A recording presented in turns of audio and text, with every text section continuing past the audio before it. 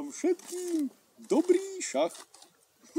Šachulko, dvoma rukami sa hrá, či jednou rukou? A hrá sa aj jednou rukou, potom striedaš druhou nohou, potom treťou rukou a potom štvrtou nohou.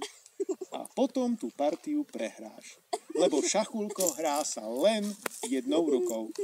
Ďalšia otázka šachulkovi. Zatiaľ vyhrávate 1-0.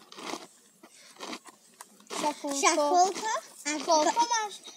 Šachulko, koľko si vyhral partí?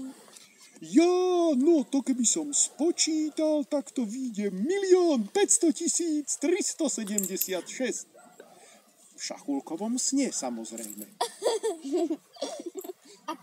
A koľko, koľko bodov má, má väža? Veža, tak by som povedal, že veža má no, šéfko poradí.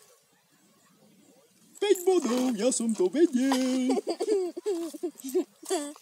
Dobre, koľko má bodov dáma?